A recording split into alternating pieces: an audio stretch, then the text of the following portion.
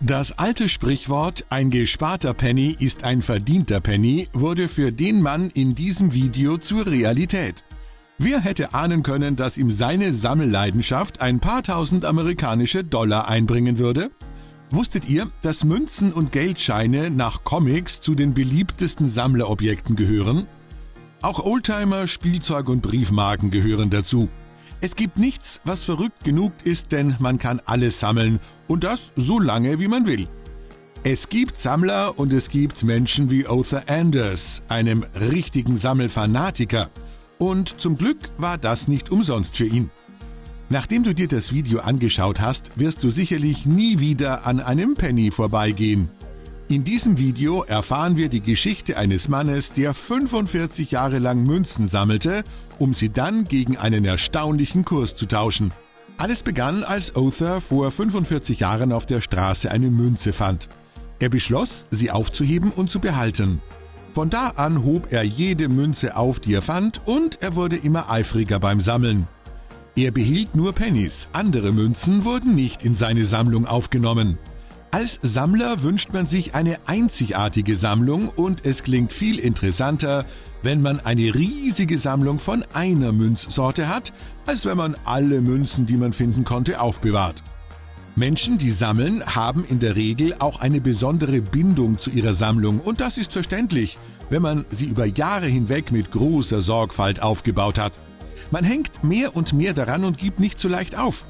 Für Arthur Anders war seine Münzsammlung mit seinem Glauben verbunden. Er sah die erste Münze, die er fand, als ein Zeichen Gottes, das ihn daran erinnerte, zu beten und dankbar zu sein. Jedes Mal, wenn er eine fand, erinnerte sie ihn daran, ein Gebet zu sprechen. Für viele Menschen hat ein Penny keinen Wert, aber für ihn bedeutete eine solch vergessene Münze, dass Gott ihn darauf hinwies, dass er für das, was wenig erschien oder fast keinen Wert hatte, dankbar sein sollte. Wie das bekannte Sprichwort sagt, jeder Penny zählt. Natürlich entsteht eine so große Münzsammlung nicht nur dadurch, indem man Münzen sammelt, die man zufällig auf der Straße findet. Others Hobby blieb nicht unbemerkt und Familienmitglieder und Freunde schenkten ihm ihre Münzen. Doch hatte er eine Bedingung. Er wollte für jede Münze, die er erhielt, bezahlen. Für ihn war das Münzsammeln nicht mehr nur ein Hobby, es wurde eine ernste Angelegenheit. Er bezahlte nicht mehr mit seinen geliebten Münzen und er sorgte immer dafür, dass er Wechselgeld erhielt. Er sagte, ich habe nie einen Pfennig ausgegeben. Ich würde lieber einen Dollarschein umtauschen, als auf einen Pfennig zu verzichten. Auch seine Schüler bemerkten seine Sammelleidenschaft und unterstützten ihn. Ebenso ein guter Freund, Jack Brown, der 5-Cent-Stücke sammelte. Das ging so weit, dass er, als die US-Regierung wegen des Mangels an Pennies sogar 125 Dollar für Münzen im Wert von nur 100 Dollar zahlte, er nicht einmal daran dachte, sie einzutauschen. Für ihn waren es mehr als nur Münzen. Es war eine Sammlung von Gebeten und somit unbezahlbar. Ende 2015 musste er seine geliebte Sammlung auflösen. Doch warum nach 45 Jahren? Die Münzen füllten inzwischen 15 Flaschen und übertrafen damit sein Ziel von 5 Flaschen. Leider wurde seine Münzsammlung nicht in die Versicherung seines Hauses übernommen. Sie wären nicht für den Fall eines Brandes oder Einbruchs versichert, so blieb ihm nichts anderes übrig, als seine Sammlung aufzugeben und bei seiner Bank einzutauschen. Other vereinbarte einen Termin und trotz des Münzzählers dauerte es fünf Stunden, bis auch der letzte Penny gezählt war. Es waren 513.614 Pennies mit einem Gesamtgewicht von mehr als 1300 Kilo. Darauf wäre sogar Dagobert Duck neidisch gewesen. Für die Münzen, die er 45 Jahre lang gespart hatte, erhielt er einen Betrag von 5.136 Dollar. Er hat jedoch seine Leidenschaft nicht verloren und wer weiß, was er aktuell sammelt. Auf jeden Fall hat er in seinem Leben mehr als eine halbe Million Gebete gesprochen und das kann ihm niemand wegnehmen. Eine weitere einzigartige Sammlung auch der 78-jährige Richard Jones aus Blackwood in Südwales hat sich in mehr als 50 Jahren eine Sammlung aufgebaut. In den 60er Jahren begann er während seiner Tätigkeit als Schreiner Nägel zu sammeln. Wer sammelt schon Nägel? Und ist das wirklich spannend oder interessant? Für ihn sind Nägel super interessant. Und mit seiner Sammlung von mehr als 3000 Stück will er ein Umdenken über diese herbeiführen. Dieses unscheinbare Baumaterial steht in der Sammlung von Richard Jones im Rampenlicht. In den letzten fünf Jahrzehnten hat er Nägel aus verschiedensten Ländern gesammelt. So hat er zum Beispiel welche aus Deutschland, Australien, den Vereinigten Staaten und Italien in seiner Sammlung. Einige stammen sogar aus der Römerzeit. Richard ist sehr stolz auf seine Sammlung, die auch eine der größten Nagelsammlungen der Welt ist und findet keineswegs, dass es ein langweiliges Hobby ist. Als Kind begann er mit dem Sammeln von Nägeln. Seine Sammelwut war nicht aufzuhalten und weitete sich aus, als er später selbst in einem Möbelgeschäft arbeitete. Er kam mit verschiedenen Arten von Nägeln in Kontakt und Kollegen, die seine Vorliebe kannten, brachten ihm auch historische oder einzigartige Nägel. Er kaufte auch Nägel auf Antiquitätenmessen und Märkten und jetzt werden ihm Nägel aus der ganzen Welt geschenkt. Richard Jones Traum ist es, dass seine Sammlung in das Nationale Historische Museum seines Landes aufgenommen wird.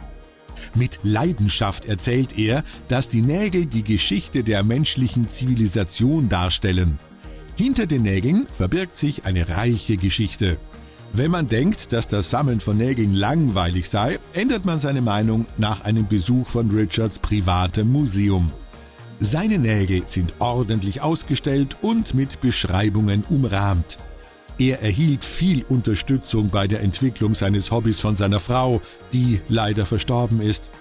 Seine Sammlung wird auf Dampfmessen ausgestellt, auch wenn er zugeben muss, dass im Allgemeinen nur eine kleine Gruppe von Besuchern kommt, um sich seinen Stand anzuschauen. Es ist überraschend, dass sich Frauen anscheinend mehr für die Nägel interessieren als Männer. Frauen haben vielleicht ein besseres Auge für die künstlerische Komponente. Jones verbringt seine ganze Zeit mit seinen Nägeln und tut nichts anderes, als mit anderen Enthusiasten und Interessierten darüber zu sprechen. Jemand, der von so etwas so begeistert ist, wie von einem alltäglichen Nagel, ist sicherlich ansteckend. Und, um ehrlich zu sein, eine solche Sammlung von Nägeln aus verschiedenen Teilen der Welt, aus verschiedenen Epochen und in verschiedenen Formen und Größen ist sicherlich beeindruckend und einen zweiten Blick wert. Der Milchflaschensammler. Das Sammeln verschiedener Objekte wird von einigen als ein Hobby ihrer Kindheit angesehen und lässt später nach. Und doch gibt es viele, die beweisen, dass alte Gewohnheiten nur schwer absterben. Der englische Milchmann Paul Luke ist ein lebendiges Beispiel dafür und hat den Weltrekord für die größte Milchflaschensammlung aufgestellt. Der 33-jährige Mann aus Essex begann im Alter von neun Jahren mit dem Sammeln von Milchflaschen und hat inzwischen etwa 10.000. Seine erste Flaschensammlung wurde auf dem Fensterbrett seines Elternhauses ausgestellt. Es ist zwar nicht der ideale Platz im Haus, aber seine Eltern waren einfach froh, dass ihr Sohn eine nützliche Tätigkeit gefunden hatte und sich so leidenschaftlich dafür einsetzte. Eine Tätigkeit, die ihn, wie seine Eltern hofften, aus Schwierigkeiten heraushalten würde. Wie bei anderen fantastischen Sammlern geriet auch Lukes Hobby durch das Wachstum seiner Sammlung außer Kontrolle. Die Sammlung besteht aus einzigartigen Flaschen, die nirgendwo zu finden sind, und Flaschen von ehemaligen Milchviehbetrieben. Der finanzielle Wert ist für Paul Lucas nicht wichtig. Er baut seine Sammlung einfach weiter aus und er hat mittlerweile auf seinem Hof ein kleines Museum errichtet. Die Flaschen füllt er mit Styroporkugeln. So sieht es aus, als sei Milch in den Flaschen. Nach etwa 24 Jahren kann dieser enthusiastische junge Mann zu Recht stolz auf seine besondere Sammlung sein. In diesem Video haben wir die Geschichte von Other erfahren, der 45 Jahre lang Münzen sparte. Wir haben gesehen, dass es für diese Sammler nicht die Erzielung der finanziellen Vorteile war, die am wichtigsten war, sondern die Leidenschaft, der Glauben, die Disziplin und Beharrlichkeit. Auch wenn die Leute es etwas seltsam finden, sollte es einem nicht abhalten. Auch die Unterstützung der engen Familie und Freunde ist wichtig. Denn es ist großartig, Verständnis für etwas zu bekommen, wofür man so viel Zeit und Energie investiert und wer weiß, vielleicht habt ihr auch bald eine besondere Sammlung aufgebaut? Wir hoffen, dass euch das Video gefallen hat. Gibt es Themen, die euch interessieren? Schreibt diese einfach in die Kommentare. Wir freuen uns über ein Like und vergesst nicht, den Kanal zu abonnieren und die Benachrichtigungen zu aktivieren.